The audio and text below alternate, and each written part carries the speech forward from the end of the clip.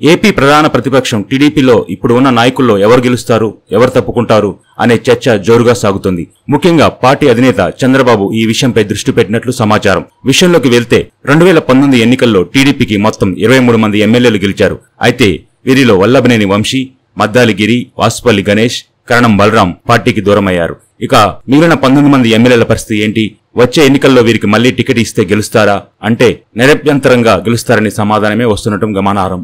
దీనికి కారణం రాజకీయంగా వారు దూకుడుగా ఉన్నారు. హిందూపురం నుంచి గెలిచిన నందమూరి బాలయ్య నియోజకవర్గంలో ఉండకపోయినా ఆయన తనదైన శైలిలో ఇక్కడ ప్రజలను కలుపుకొని పోతున్నారు.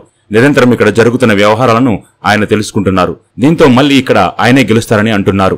ఉర్వకొండ నుంచి గత ఎన్నికల్లో విజయం దక్కించుకున్న ప్రస్తుత పీఏసీ చైర్మన్ పయ్యావల కేశవ్ కూడా సానుభూతి బాగానే ఉంది. వైసీపీ బలంగా లేకపోవటం పయ్యావల క్షేత్రస్థాయిలో సమస్యలు తెలుసుకునే ప్రయత్నం చేయటం వంటివి ఆయన కలిసి వస్తున్నాయి. కుప్ప నుంచి వరుసగా విజయాలు దక్కించుకుంటున్న పార్టీ అధినేత చంద్రబాబుకు తిరుగులేదు. నిజానికి గత ఎన్నికల్లో మెజార్టీ తగ్గినా ఆయనకే ప్రజలు మొగ్గు చూపుతున్నారు. ఆయన గెలుపును ఎవరూ ఆపలేదనేది వాస్తవం అంటున్నారు పరిశీలకులు. అద్దంకి నుంచి జగన్ సునామీలో విజయం దక్కించుకున్న గొట్టిపాటి రవికుమార్కు ప్రజలు అండగా నిలబడుతున్నారు. పార్టీ తరపున ప్రజల తరపున ఆయన బలమైన గలం వినిపిస్తున్నారు. అంతేకాదు జిల్లా ప్రయోజనాలపై కూడా బలంగా పోరాడుతున్నారు. ప్రభుత్వం నుంచి ఎన్ని హెచ్చరికలు వచ్చినా లెక్క చేయకుండా పోరాటం కొనసాగిస్తుండటం ఆయనకు ప్లస్గా మారింది. దీంతో రవి విజయం రాసిపెట్టుకోవచ్చనే వ్యాఖ్యలు వినిపిస్తున్నాయి. కొండేపు నుంచి వరుస విజయాలు దక్కించుకుంటున్న డోలా బాల వీరాంజనేయ స్వామి కూడా గతానికి భిన్నంగా గలం వినిపిస్తున్నారు. ప్రభుత్వ ప్రజా వ్యతిరేక విధానాలను ఆయన ఎండగడుతున్నారు.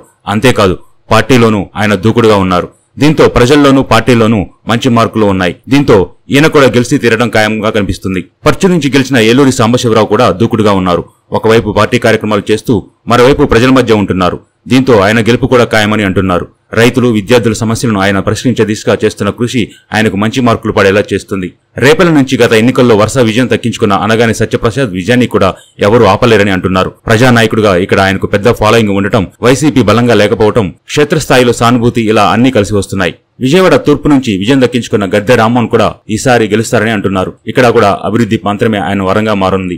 పైగా వివాదరహితుడు అందరిని కలుపుకొని పోయే నాయకుడు సీనియారిటీ వంటివి ఆయనకు కలిసి వస్తున్నాయి. పాలకుల నుంచి వరుస విజయాలు దక్కించుకున్న నిమ్మల రామానాయుడుకు తిరుగులేదని అంటున్నారు పరిశీలకులు.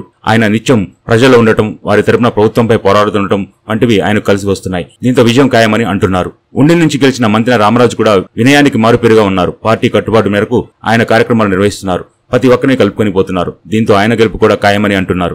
రాజమండ్రి సిటీ నుంచి విజయం దక్కించుకున్న ఆదిరెడ్డి భవానీ కూడా దూకుడుగానే ఉన్నారు. మహిళా నాయకురాలుగా ఆమెకు మంచి మార్కులు పడుతున్నాయి. రాజమండ్రి రూరల్ నుంచి విజయం దక్కించుకున్న గోరంట్ల బుచ్చయ్య చౌదరికి గ్రాఫ్ బాగానే ఉన్నా వచ్చే ఎన్నికల్లో ఆయన పోటీ చేయనని చెప్పారు. మరి ఆయన పోటీ చేస్తే విజయం సాధించడం ఖాయమే.